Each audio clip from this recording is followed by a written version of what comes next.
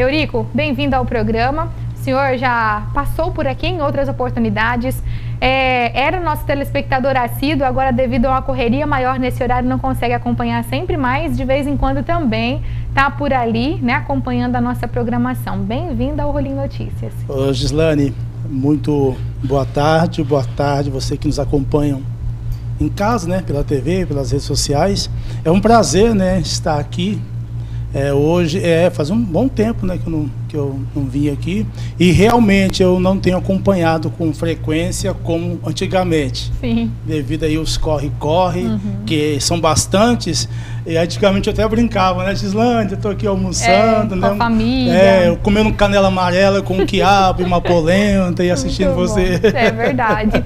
Mas agora devido a, mudou tudo, né? A gente muda totalmente a vida da gente. A né? rotina é outra, é, né? É outra rotina. E o senhor continua também no rádio, né? Tá na Getsemane. Isso, Gislane, eu ainda continuo no rádio. Uhum. Vou, fazer nove anos, né? Certo. É, no programa de manhã, que é das cinco às sete da manhã e eu sempre digo que a minha missão começa ali. Uhum. Eu acordo às quatro e vinte da manhã e sabe lá Deus que horas que eu vou parar uhum. e, e, vou dormir, né? Então é, é, um dia bem puxado mesmo. Então eu vou fazer propaganda do seu programa aqui, você faz propaganda do meu lá, tá? Tá. Faço. Hoje, hoje eu fiz. Fez? fiz. Então, combinado. Amanhã, viu, gente? Tá já de de manhã, Eurico Gomes. É, 5 horas da manhã, é 99.9. Acorda com a população da cidade. Isso. Eurico, é, o senhor hoje também, durante esse programa no rádio, aborda temas da nossa cidade. Fala um pouco dessa programação, né? Como que inicia ali o seu dia? Então, não, o, o, o programa ele não, não aborda isso, né? Uhum. É um programa totalmente 100% evangélico, Sim. onde a gente toca louvores, atende uhum. as participações dos ouvintes. É um programa mais musical mesmo, é, onde tem oração, tem a mensagem, a palavra de Deus. Uhum. É um programa mais focado para isso mesmo. Entendi. Começa o dia deixando a mente limpa para depois já ir para o é, corre, né? Sempre uma boa palavra, uma reflexão ali deixa uma mensagem para os ouvintes, né? A gente tem um, um, um público muito bom nessa uhum. área, pessoal do sítio que acordam cedo, pessoal da cidade. Então, já há nove anos a gente levando aí é, uma palavra de esperança, uma palavra de fé para as pessoas, uhum. porque os dias são maus, né? O mundo está difícil, é difícil, tanta coisa ruim acontecendo. Então a gente começa ali pela manhã é, com esse intuito. O foco do programa é de levar uma mensagem, uma reflexão, uma palavra de fé, de esperança para as pessoas. Muito bom. Ultimamente eu tenho visto o senhor bastante usando esse colete, vereador Eurico Gomes, fiscal do povo. A função do vereador fiscalizar. Como anda a fiscalização na cidade de Rolim de Moura? É, a gente faz o nosso papel, é, a gente não consegue fazer tudo, atender tudo de imediato, né? Mas a gente tem feito, assim, falar de mim, né, o Gislane, a gente tem é, desdobrado mesmo nosso trabalho na fiscalização. Mas o que, que acontece? São muitas e muitas e muitas demandas, né? Às vezes a gente não consegue atuar em todas as áreas em tempo real, momento exato a gente não consegue, mas a gente tem batalhado para isso, né? De cumprir o nosso papel, de fiscalizar e, e, e a fiscalização ela vai muito mais ampla, né? Às vezes a fiscalização é até por documento por questão de papel, de papéis, de, de documentos, você se fiscaliza é, um município. Quando o senhor sentou aqui da última vez, foi logo no pós-eleição, né? E aí a gente conversou com todos os vereadores e aí fomos perguntando quais são os planos, quais são os projetos, qual a secretaria que você tende a cuidar e trabalhar mais? Porque como o senhor acabou de dizer, é muito difícil fiscalizar tudo e querer estar presente em todos os lugares ao mesmo tempo. E aí, naquela oportunidade, o senhor destacou algumas secretarias. Está dando certo de acompanhar elas? Qual é o foco da sua gestão?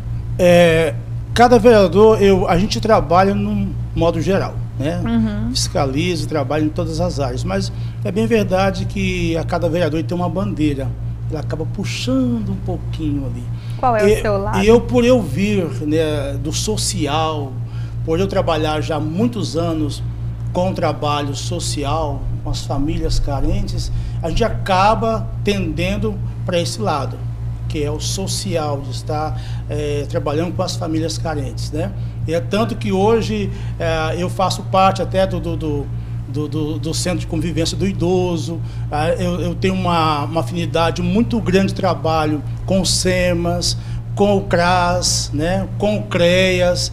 Então, por eu me identificar com, é, nisso, é tanto que hoje eu sou né, até coordenador da, da comissão intersetorial do CREAS, que é um trabalho que eles fazem com os moradores em situação de rua. Eu fui nomeado como coordenador por eu atuar nessa nessa área do social. Então, Gislaine, eu vejo que é, eu, eu, eu acabo cedendo para esse lado que é a questão do social. Né? Uhum. Né? Então a gente vem já nessa, nessa linhagem há muito tempo, é tanto que agora a gente até abrimos uma associação, que eu tinha um sonho né, de abrir associação, que é o Juntos em Ação RM, né, um trabalho que a gente faz paralelo, voluntariamente, junto com a vereança. E, então, é, é, sempre digo que a gente tende para esse lado. Muito bom. Vou atender aqui algumas das participações. Pergunte ao vereador se este ano ainda será asfaltado o nosso município antes das eleições, porque onde já tem asfalto, é, já estão recapeando. Então, é o Genivaldo, do bairro Beira Rio. É, quando o vereador vem aqui, muitos dos vereadores, é, há várias perguntas assim, que eu sei que não é de competência de vocês, mas se o senhor puder responder. É. Sim, tem, é, tem bastante asfalto para ser feito, né? Eis a questão, porque agora está chegando já o período eleitoral, né? Uhum. E tem que se concluir tudo antes aí. É, mas temos sim é, asfalto para colocar na cidade, temos recapeamento. E, na verdade, Gislane, eu, eu tenho até uma, uma opinião né, na questão do asfalto. Hoje é uma demanda muito grande nossa da cobrança da rede de esgoto né, na nossa cidade. Então, assim, eu, eu acho totalmente em contramão a gente fazer asfalto e não ter rede de esgoto. A gente tem debatido nisso, até eu, mas o vereador Rony Tom, nós estamos debatindo sobre isso, a gente já tem massificado bastante isso, né? Faz o asfalto e depois é, temos que quebrar novamente para poder fazer a rede de esgoto, né? Então, assim, eu, eu, eu, eu, prefiro que faça rede de esgoto que asfalto hoje. Mas é, é, está aí a, a, todo vapor o recapeamento, há muitos debates, né, muitas discussões sobre a questão do, do recapeamento na cidade e a questão do asfalto, mas tem um projeto bastante para asfalto aí. Não sei se nós vamos con conseguir concluir antes aí do período eleitoral. Qual hoje é o projeto que o senhor executou, já apresentou e ele né, foi aprovado pelos seus colegas nesse um ano e meio que o senhor esteve ali, que o senhor está ali no Sim. Legislativo? Né? Fala de algum projeto aí que o senhor tem como destaque nesse período. Sim, eu não tenho é, elaborado projetos, uhum. Gislane. Por que, que eu entendo? Tem tantos projetos para ser feitos, executados, que ainda não foram executados. Né? Mas é um projeto que eu, que eu fiz, e até um projeto de lei já também, lei federal, que é o Dia da Bíblia. Né? Eu tenho focado também muito no público evangélico de dar um apoio para o público evangélico. Então, nós temos um projeto ali, tá, já foi aprovado pela Câmara Municipal, que é o Dia da Bíblia, e a gente pretende fazer aí é, um dia, uma, uma sessão especial né, uma sessão espe especial para o Dia da Bíblia. Né, um encontro, a gente está se programando um encontro com todos os evangélicos da cidade de Rolim de Moura. Então, assim, é um projeto que a gente tem massificado bastante e dá um apoio assim, para os evangélicos, para esse público. E tem algum projeto que o senhor disse que não está fazendo, não é, é o seu intuito né, nessa, é, nesse seu mandato, é, mas tem algo que o senhor talvez queira ainda executar nos próximos anos? Ô Gislane, aqui agora assim de em mente não, não tenho. Não tenho assim, eu não vejo. Porque são tantos projetos que já estão em andamentos, né? Outros já foram executados, alguns ainda não foram executados. Então eu fiquei mais nessa parte, pelo menos agora, nesse um ano e meio, né? Claro que a gente está. Porque o projeto você tem que estar averiguando bem, vendo certinho, né? Se realmente cabe aquilo para não fazer coisas inesperadas. O senhor não acha que a população uma hora pode cobrar algum projeto, algum posicionamento, algo assim? Ah, sim, com certeza. Já eu, estão é, cobrando? É, eu, eu sei que as pessoas cobram. Hoje, o que, que as pessoas cobram? Saúde. Saúde, saúde, saúde, saúde, né? E quantos e quantos projetos aí que tem para a saúde, quantos investimentos para a saúde, quantos é, milhões para a saúde. E nós vemos hoje um caos né, na nossa saúde. No modo geral, no Brasil, né, a situação que está a saúde hoje. Porque nós temos hoje, vereador, vários projetos que, como o senhor disse, é, que não foram executados, que tiveram início, mas não foram votados. Talvez nem que fosse para continuar alguns desses projetos, porque se eles existem, é, aconteceu Sim. com um intuito. É. Então o senhor não nem nesses não, projetos... nesse, é, pelo menos nesse primeiro ano, um ano e meio, ainda não. Ainda, ainda não. não digamos que eu estou assim avaliando. O senhor não acha que já passou o tempo suficiente de avaliação e que agora a cobrança começa a chegar? Não, começa, com certeza. Uhum. Começa sim, começa a chegar é, as cobranças sobre os projetos, né? Certo. Então, assim, só que nesse um ano e meio nós ficamos aí. É, oh, Gilane, é tanta coisa, filha. É, uhum. é tanta coisa para você executar, para você averiguar, para você buscar. Então, assim, a gente vai é, somando, a gente vai avaliando, a gente vai analisando o que vai ser bom para a nossa cidade. Uhum. Para mim, esse um ano e meio, um ano e um ano de, de aprendizado, um ano de poder estar tá aprendendo, é, correndo atrás, vendo as leis, eu vejo mais ou menos isso, nesse um ano e meio aí. Deixa eu atender o seu Antônio. Ele é do Cidade Alta, diz que está todos os dias acompanhando o melhor programa na hora do almoço. Muito obrigada, seu Antônio. Desejo uma boa tarde a todos os telespectadores do programa e aproveitar a oportunidade para saudar, né, paz do Senhor ao Eurico Gomes. E também falar de uma reivindicação. É o seguinte, já nos sentimos bem aqui na rua D1, já patrolaram a nossa rua igual às outras, mas ainda falta algo que aqui precisa melhorar bueiros aqui na saída da D1, anexo a Dr. Miguel Vieira, e seria muito útil se isso acontecesse. Então aqui são algumas reivindicações que vão acontecendo, seu Antônio do Cidade Alta, né? Seu Antônio, Deus abençoe. A mensagem. É, Anne Maia, aqui na rua C, na Coab, água de sabão, escorre o dia inteiro no asfalto novo. Já reclamamos para pessoas, eles disseram que é, não ia fazer nada. Fizemos denúncia na prefeitura e nada, a água continua sendo jogada no asfalto. E, por incrível que pareça, o cano está colocado para escoar na rua, na maior cara de pau. Meu então, está pedindo ali a fiscalização Qual lá na é Coab. Rua C, peraí, deixa eu voltar. Rua C, na Coab. Obrigada, Anne. G, aproveite, pergunte ao vereador se vai cascalhar a Ouro Preto até Ulisses Guimarães. Estamos precisando, seu Edinaldo. Com certeza. Você consegue lembrar aí de alguns endereços? É, com certeza. É, qual que é o projeto? Limpeza uhum. das ruas, né? E o prefeito, terminando as limpezas, vê um cascalhamento. E nós estamos aguardando esse cascalhamento em toda a cidade. O Tonhão está mandando um abraço, principalmente ao vereador, pelo seu brilhante, brilhante, Tonhão, brilhante trabalho, né? Que está desenvolvendo, vem sempre pensando no melhor para a sociedade de Rolim de Moro. Tonhão que já passou ali pela, pela Câmara também, né? Verdade. né? Passou um abraço, Tonhão. Deixa eu ver. Sobre o saneamento e esgoto, qual o bairro que vai ser feito primeiro se colocarem o projeto em ação? Bom, já iniciou, na verdade no Olímpico, ali próximo à Prefeitura Municipal.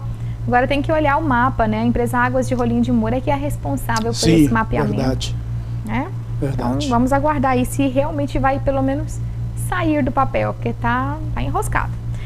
O Vladimir Rocha do Industrial está perguntando por que que o bairro está tão esquecido nos projetos de asfalto. Ele esteve olhando na lista das ruas e o Industrial mais uma vez ficou literalmente de fora.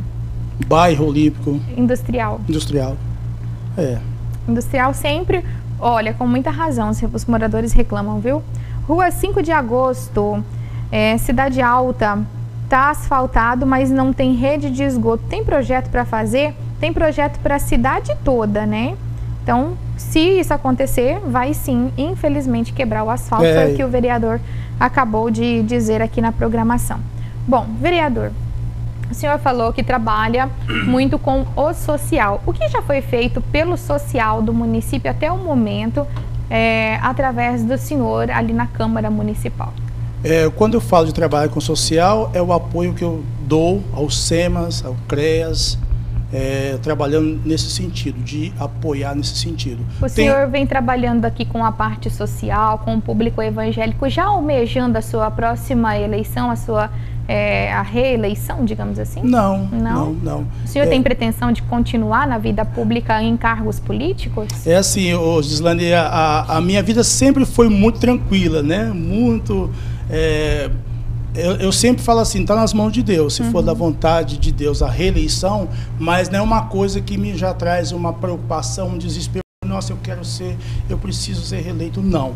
Está tudo no tempo, na vontade de Deus. Se for da vontade de Deus, a reeleição, tudo bem, mas se não, tranquilo. Isso, a gente, o trabalho que a gente faz aí é cumprindo o nosso papel de, de vereador e o trabalho voluntário que a gente faz é um trabalho que a gente já fazia há muito, muitos anos, a gente continua fazendo normalmente, né, sem, sem pretensão, sem ficar almejando isto, né, de ah, eu preciso, eu tenho que fazer, eu tenho que me aparecer que eu quero. Vereador, se o senhor já trabalhava com o social, por que, que o senhor se candidatou ao cargo de vereador se o senhor continua fazendo a mesma coisa que já fazia antes?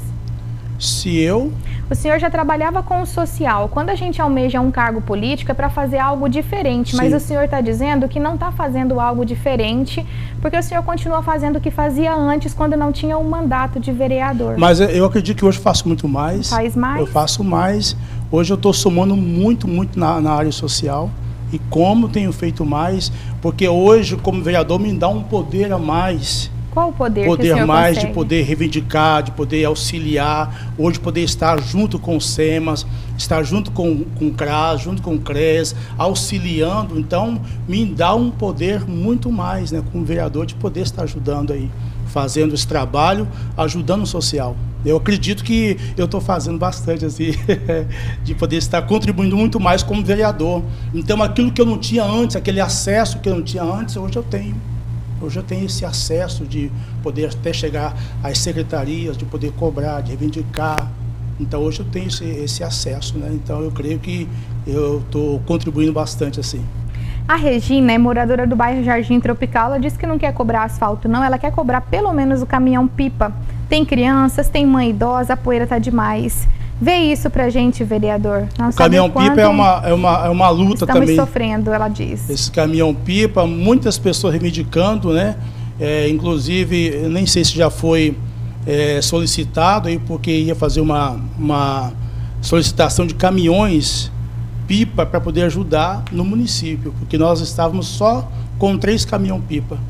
E, quando vem o patrulhamento, o cascalhamento, a poeira aumenta isto, também, né? É, as licitações, eu não sei se já foi, é, se já foi aprovado a licitação de poder contratar mais caminhões para poder ajudar é, no que diz respeito ao caminhão-pipa, para poder estar aguando a, a a nossa cidade. Então, realmente é uma demanda muito grande, Islane.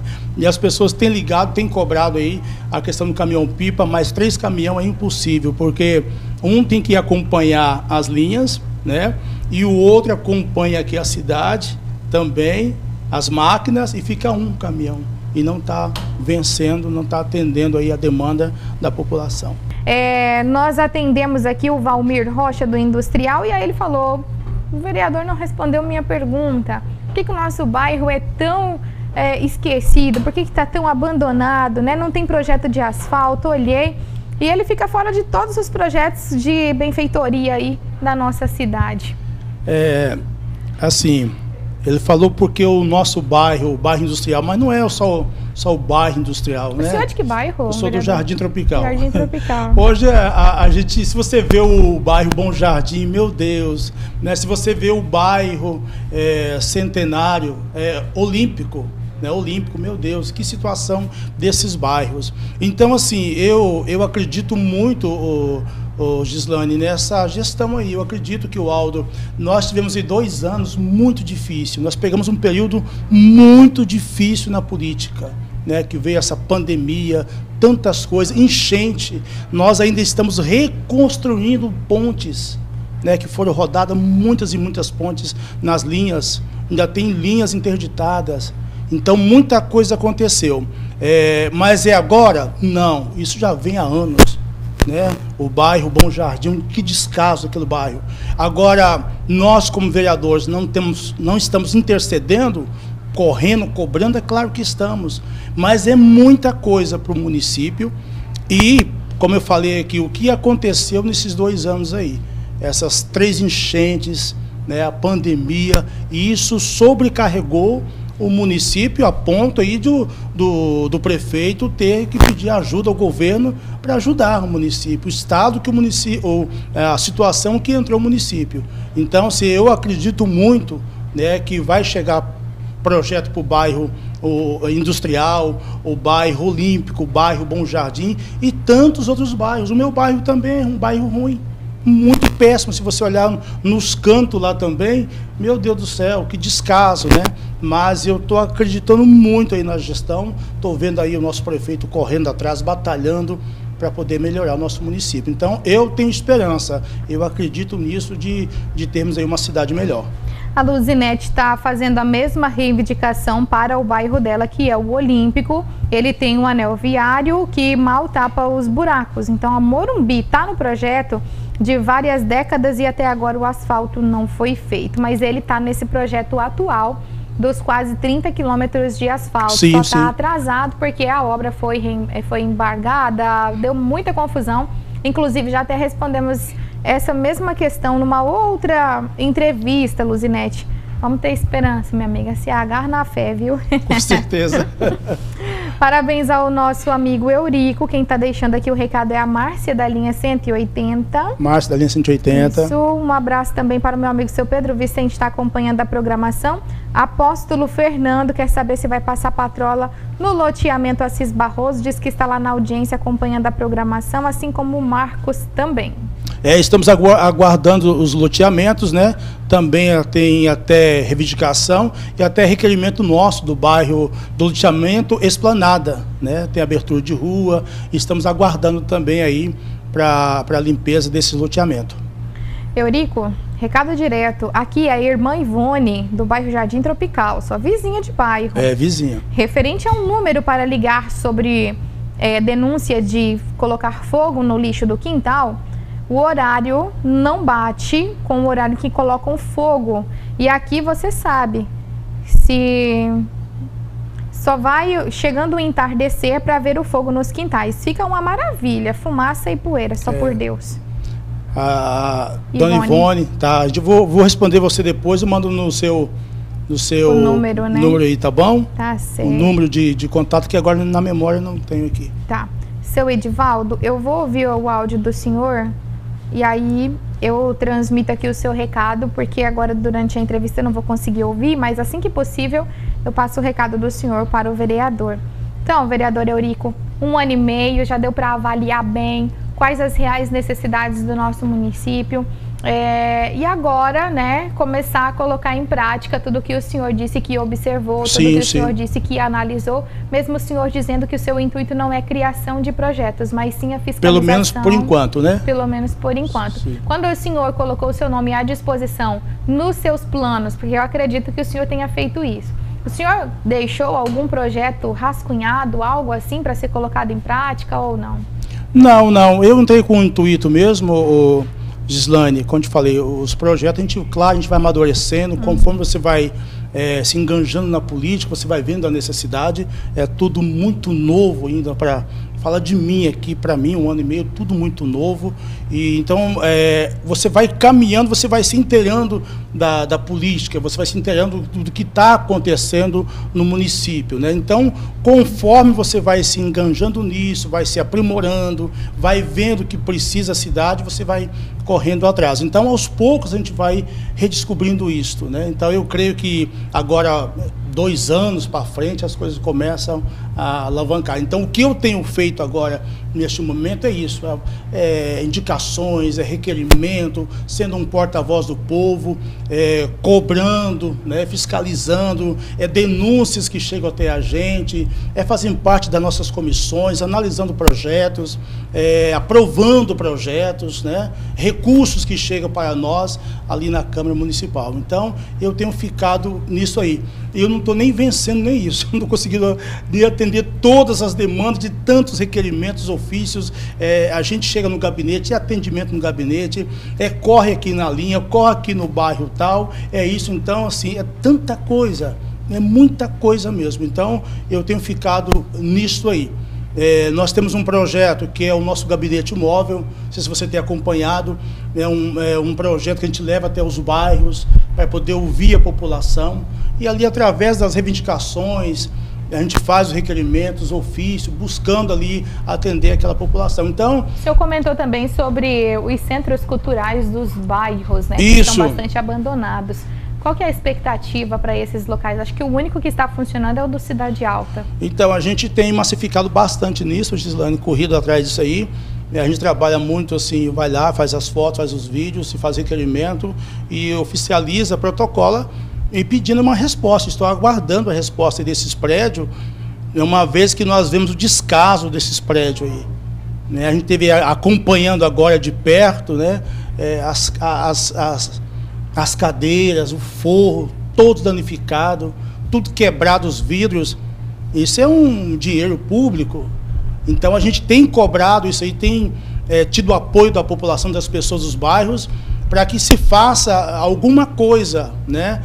o, o, nosso executivo, a gente sabe, a gente sabe que esses prédios, Silane, foi entregue para associações né? Aí deu no que deu. Então, o meu documento, meu requerimento é que se faça alguma coisa que venha restaurar esses prédios e devolver pra, para a população, que seja um centro cultural, que seja um lugar de artesanato, um lugar de fazer eventos, mas que tenha uma providência, tomem a providência, até mato, né? Tudo sujo, tudo danificado. Então a gente tem cobrado bastante isso aí também. Ótimo. Quero agradecer a sua participação aqui na nossa programação no dia de hoje. O senhor tem algumas mensagens também para falar? Tá não? tranquilo aqui. Achei que eram alguns abraços é. aí que o senhor estava devendo para o pessoal que está te acompanhando. Mas eu vou mandar, já que você me deu essa fica, oportunidade. Fica à vontade. Eu quero aqui agradecer né, meu assessor, o Fábio Silva, que me auxilia. Esse vai comigo para as ruas, né? No braçal mesmo. E quero mandar aqui um abraço para a Érica. A Érica que fica lá no gabinete, que toma conta da parte de documentos da gente, né? Ela cuida dessa parte. Um abraço para a Érica. É, também mandar um abraço para minha família, minha esposa, os meus filhos, a minha mãe. É, e todos que estão aí assistindo a gente, né? E uma coisa muito importante que eu deixar aqui, o Gislane, que a gente está sempre à disposição. Tá? O meu gabinete, o nosso gabinete, está sempre à disposição, que as pessoas possam ligar, que as pessoas possam ir né, até o nosso gabinete é, levar suas reivindicações. Você pode ligar no 3449-2611, que é o telefone do gabinete. Você pode também entrar no meu WhatsApp, né? o meu telefone pessoal é o telefone público mesmo, 98413 8035. E a gente tem feito isto, né? A gente até usa nos nossos vídeos, o povo chama e a gente vai. A gente vai até a pessoa, sendo porta-voz do povo, como gabinete móvel que nós temos feito, que é para isso mesmo, para ter um contato com, com a, popu a população. Então, nós estamos nas ruas todos os dias. E nos acompanham pelas redes sociais. Vai lá no Facebook, vai no Instagram, vai nos estados, você vai estar sendo atualizado do que nós estamos fazendo, nosso trabalho sendo um porta-voz do povo, né? Que o nosso trabalho, é, vereador, gente, é bem limitado. Né? Depois que você entra lá dentro, você sabe, é bem limitado. Pode tudo e não pode nada ao mesmo tempo, né, o vereador. Então é bem limitado, bem limitado mesmo. Mas aquilo que está no nosso alcance, a gente vai reivindicar, a gente vai correr atrás, porque esse é o nosso papel.